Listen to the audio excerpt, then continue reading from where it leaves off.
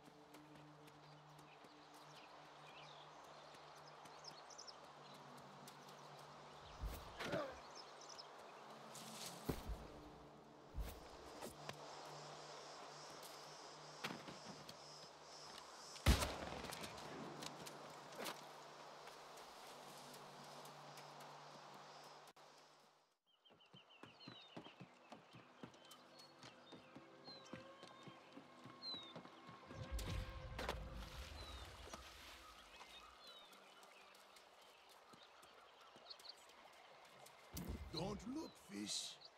The ghost is back. Probably with ideas. Read about the Soul Wardens, did you? Psst. What a pretentious name. Sworn guardians of the uncorrupted and so forth. Fairy tales, candles in the dark, lies. Real, true, those are different things. How dreadful the knowledge of truth can be when there's no help in truth. Sophocles had the right idea. However true the Soul Wardens might have once been, they're just lies now.